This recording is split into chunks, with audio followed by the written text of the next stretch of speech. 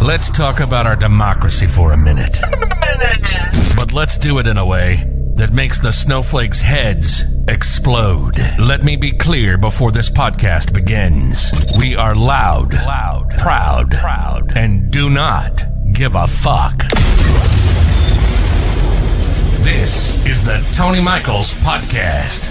Real and raw political and social commentary. The freedom to oppress the rights of other people is not liberty, you shit eating moron. Ah, the smell of freedom of speech. This is the Tony Michaels Podcast, and this is Tony Michaels. Hey, Tony, fuck 'em. Ah, do you feel overwhelmed with MAGA lies and misinformation? You on a daily basis want to pull out your fucking hair? Well, let me introduce you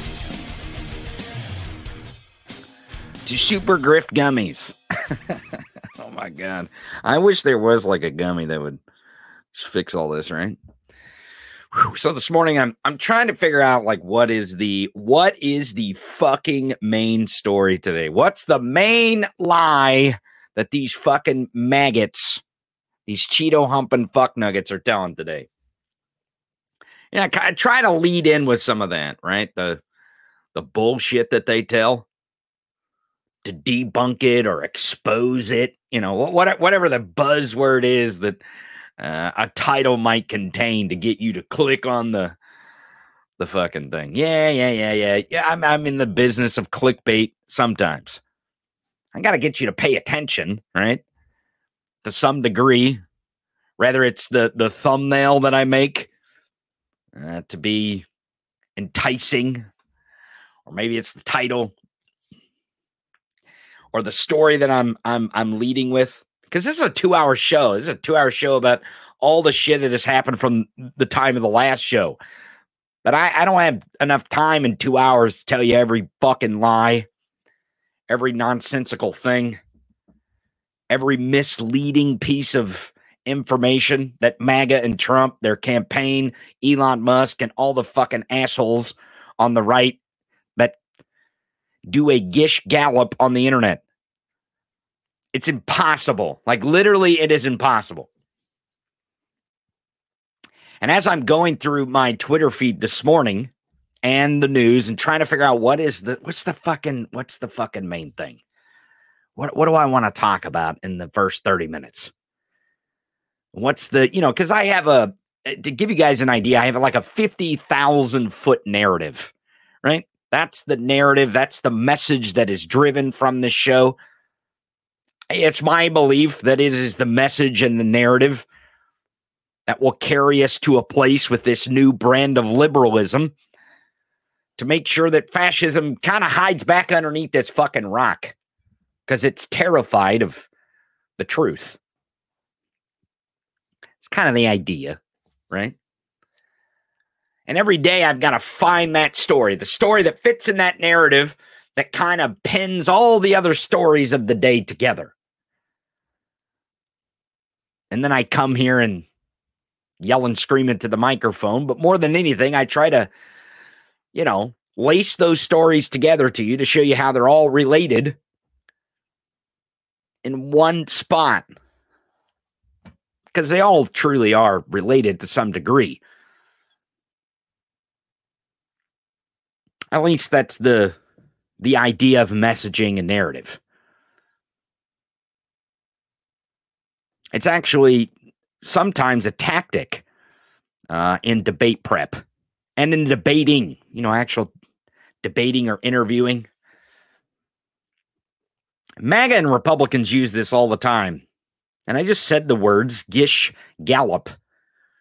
Now, if, if you're not familiar with the Gish Gallop, I'll be uh, telling you a little bit about it today, where it kind of comes from, because that's that's what I did this morning. I was like, oh fuck. Well, let me just look up what a Gish what what what the fuck is the Gish Gallop? Where does it come from? And what is that tactic? More importantly, how can we use what we have, what resources we have to counter that tactic. And it's used by fascist right a lot. And it was actually a technique, and it's a rhetorical technique that was named after an American uh, creationist. His name was uh, Duane, Duane, Duane Gish, G I S H, Duane Gish. And it was popularized um, as a debate style in the later half of the 20th century. What the Gish Gallop involves is overwhelming an opponent with a rapid series of arguments, half truths, and misleading statements in a quick succession. It's it's basically what Trump does all the time, right? And and again, the idea is to lie. The idea is to mislead, not to tell the truth. And, and the tactic relies on the fact that refuting each point takes significantly more time and effort than making them than making them and then leaving the opponent struggling to keep up. Right. So the, the idea is just to lie so much that you can't counter every single lie. If you, in one statement, tell four lies and your opponent, opponent Maybe it's a debate opponent. Maybe it's the person interviewing you. Maybe it's just the person fucking listening to you. Or it's you scrolling through your fucking social media feed.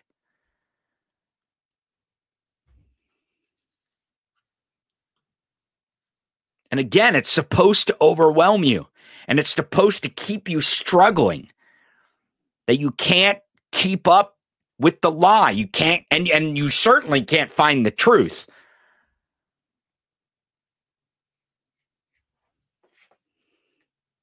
And also, what it does is it it gives this sense of an, an appearance of victory through sheer volume, right? Not not like substantive argument.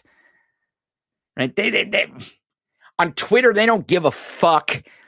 They don't give a fuck if there's no evidence that that they are manufacturing storms to direct towards eh, MAGA supporters right? They, they don't they don't give a fuck if there's no evidence for it.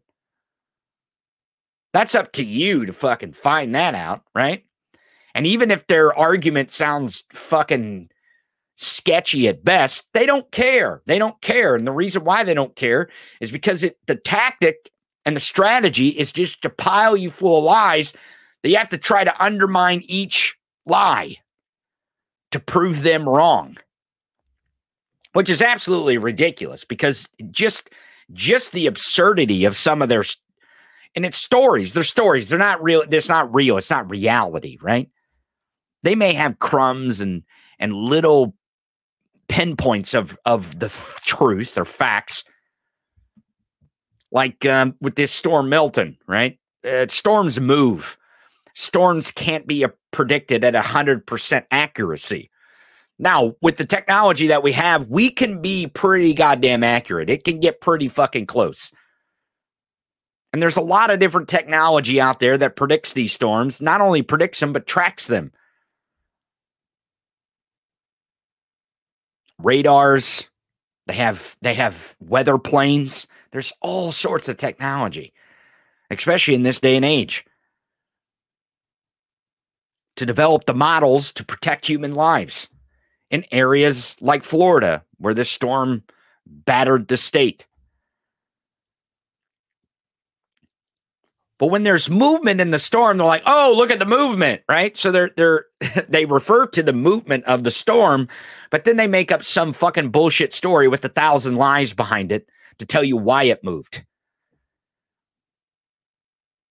Oh, they were they the Jews, and, and, and again, I know I've been saying this a lot, but folks, this this narrative of it's the other, it's the Jews that is doing this is is foaming to the top. And it's becoming more and more clear that Trump's Project 2025, when I call it Nazi Manifesto,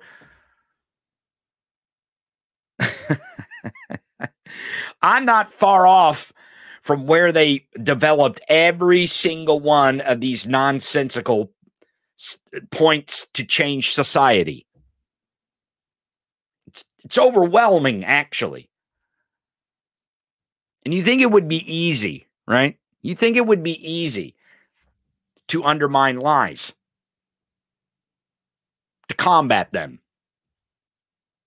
to try to counter the Gish Gallop that is happening to us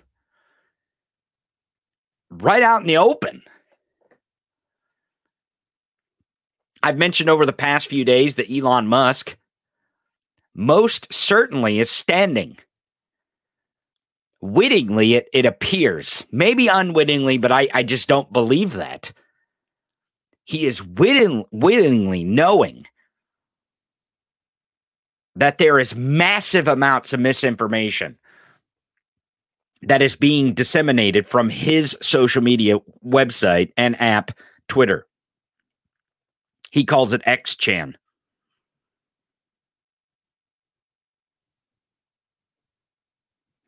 And the overwhelming amount of misinformation isn't doesn't mean that it's not countered. Community Notes is doing their best other people on the on the social media app are doing their best, but it's not just Twitter. It's all over the internet.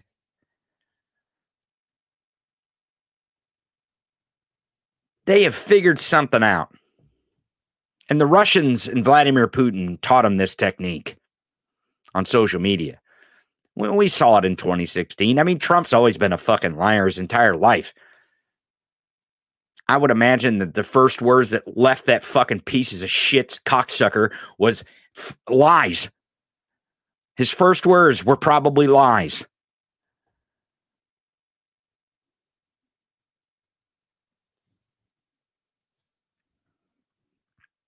But it's well past Donald Trump speaking lies into a microphone. We are in a later stage of this Gish Gallop than Donald Trump continuingly to try to mislead his cult. It is metastasized. And we're we're only to October 10th. I mean, yeah, we're less than a month away, but god damn.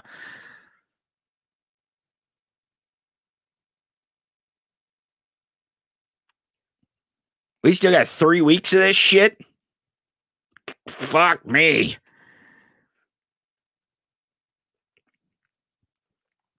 And as we draw closer to the election in November, my guess is that it's not going to get better. It will get worse. This morning, uh, my Twitter feed keeps throwing me rabbit holes. And as I dive into these rabbit holes, it makes my brain hurt even more. And they're right wing rabbit holes. Okay. These are QAnon right wing rabbit holes. And it's not just the post, uh, the tweet that is a lie. Because what they have discovered, what they were taught by the Russians, and bad actors all around the world in this effort to confuse populations is that the comment section, whoo, baby, oh man, that's where you really get them. With all the misinformation and the lies. There was a, an interview with the with one of the people who owns the the investment group of Pornhub. Now they have a really high stake in this election, which is kind of weird that the porn industry and I, and I played yesterday in the Easter egg uh, uh, a segment from Rachel Maddow where she is talking about how porn sites are now going to run run political ads. Their industry is in danger because of Trump's Project 2025 and these fucking absolute psychopaths that somehow are projecting that porn is making gay people. Now, this has always been a trope, right? And I know it's uh, zero days talking about porn, uh, but we've talked about the storm and how it's uh, when they say they, they mean the Jews. Almost every single point of Trump's Project 2025. The underlying narrative, the undertone, the undercurrent of their messaging is that the Jews control everything. Now, it's a little weird because Donald Trump, you know, recently embraced Jews, which is um, kind of pissing. And you want to know the honest truth a lot of the right wing neo Nazis have disavowed Trump, walked away from him, supposedly. We'll see.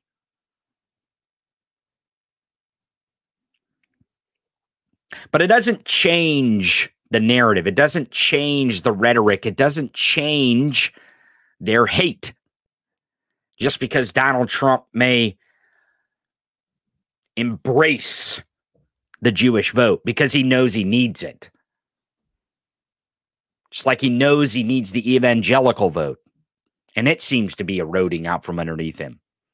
The American Christian vote, not not Christian nationalist, I want to be very specific here. It appears that Trump and his campaign are worried. They're very worried that the church, the American Christian church in general, is going to abstain from voting in the presidential election. Now, whether that affects the down ballot races or not, we you know we don't we we won't know that until November 5th. I mean, we can prevent it. We can definitely get out and make sure that we're doing everything we can to pile these MAGA fascists under mountain ranges of votes. But it's getting very complicated and very hairy. But back to the porn part, I watched uh, a little bit of an interview of one of the investors or something that owns the group that owns Pornhub. Now, Pornhub is is not just Pornhub; it's a pretty big conglomerate. They own a lot of different websites. They own a lot of different uh, content distributions uh, outlets of porn, and it's all kinds of porn, right? Straight porn, gay porn, trans porn. Uh, solo porn. I mean, if you're not familiar with porn, if you can think it up, there's probably fucking porn on the internet, right? I mean, you've heard of feetfinder.com. There's people who have fetishes about almost anything. Some of it illegal.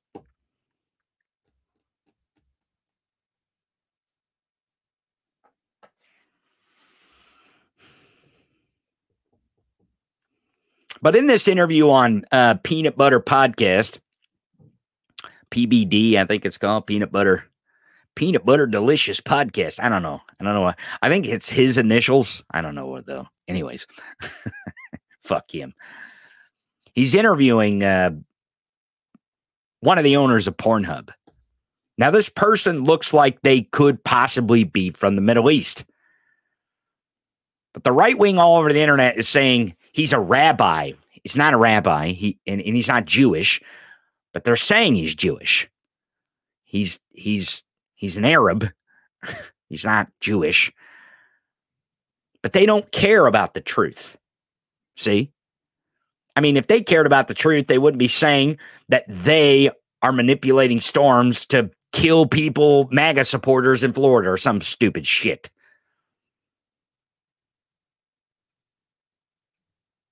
But it, I've gone down so many rabbit holes. I want to tell you that it's not just the porn they think controls, because the reason why they believe that Jews control the porn is because Jews are using porn to manipulate you, to make you gay, to make you trans, to, you know, to bend your mind into believing things that are are anti-white.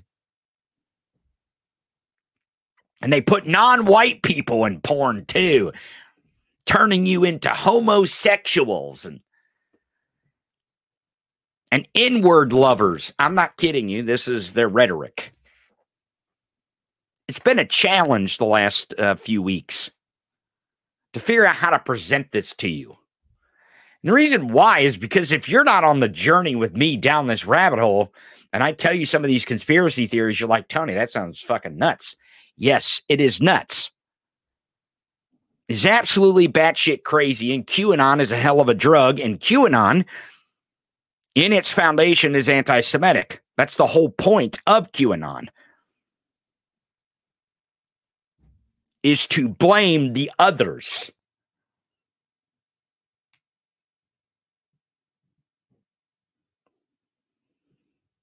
And yesterday, I, I tried to put it into some historical context, uh, even with this uh, Madison Square Garden, where Donald Trump is going to be renting Madison Square Garden and holding a Nazi rally there. But there's a lot more than just the historical context. There's also the contemporary context and the context of the election and after the election when he loses. It's just not enough time.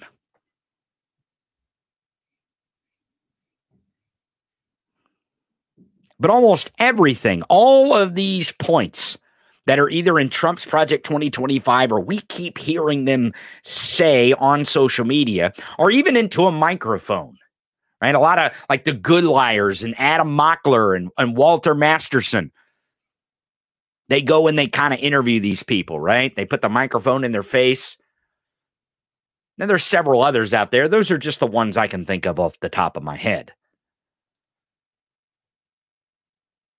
And sometimes they do a decent job of trying to make us see how these people think or what their belief system is and why they are supporting such blatant lies. And sometimes it's a horrible job. There's just nothing they can do. I mean, the outcome of the content is only what the person standing in front of them answering the questions will say. But it's not good enough. I want to tell you that is that that exposing them and mocking them is good. But America is growing tired. And most people are growing tired of us having to come to the reality that there are a lot of people in this country, not a large percentage, you know, maybe 12, 13%, but a lot of people. That's a big number. Small percentage, large group of people that have absolutely been brainwashed. And a hell of a job has been done to wash their brains and to reprogram them into hating. Hate. Like just cold blooded hate. And when you when you hold that kind of hate, right? When that when that kind of hate is internalized inside of you, and gasoline is poured on that erupting fire of bigotry, of lies, of hate. Mm. It really does start to ooze out into our society. Even if those people have no idea where that hate came from, no clue. I, I almost guarantee you uh, nine out of 10 people that would say they don't like that there's Haitians in Springfield, Ohio. Couldn't exactly pinpoint why they hate that. I know it feels like they'd be like, no, no, no, you'd be able to pen them up for racism. I, I, I don't know. At this point, human beings are really easy to convince of almost anything. A whole generation of people in this country who are using the internet are being duped. They're gullible as fuck. It's on the internet. Must be true. Do your own research, right? We saw that in that 60 Minutes interview with the uh, the Republican co-chairwoman Bush, who has the super PAC in Arizona, who keeps lying and lying and lying and lying about the 2020 election. And you think they're going to not lie about the 2024 election? Come on. Give me a break. But the Gish Gallop is real. And it's the fatigue that our country is feeling. The fatigue of of bullshit.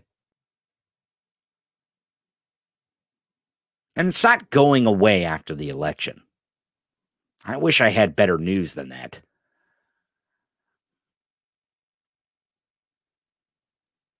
I pointed out yesterday in several different instances that uh, freedom of speech is being used as a shield uh, to protect people from sedition. It's happening all over the place, everywhere in our discourse. I mean, there's U.S. Congress people who are spreading lies about the very government that they rep that they are part of that they are elected to represent their constituents now, I don't know if Marjorie Taylor Greene has ever received any briefings from NOAA. I don't know.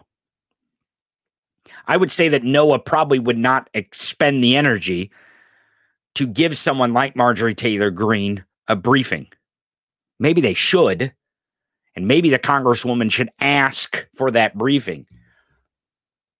But why would she? What what would come of that? Besides, now she is no longer able to claim plausible deniability. If she really was briefed on the truth, then it would really be seditious. Not only the sedition that she is actively participating in,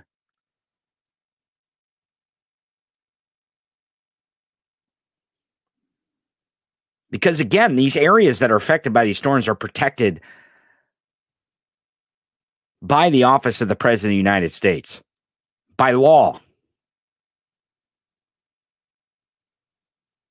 Which, if their goal is to tear down the federal government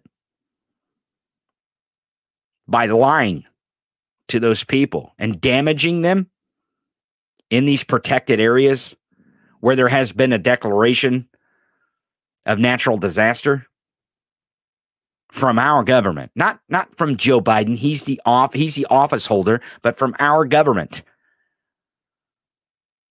Our government not the our.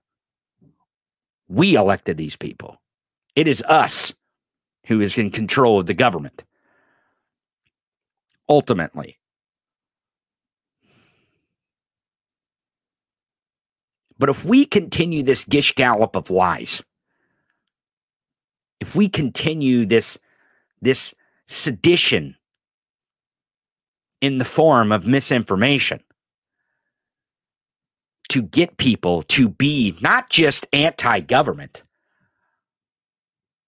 but to be an insurgency, that's definitely sedition. I don't even know that it doesn't borderline upon the uh, the old big T treason. I have no idea. I don't know. But we'll go through some of this when we come back. Don't go anywhere. Right back right after this.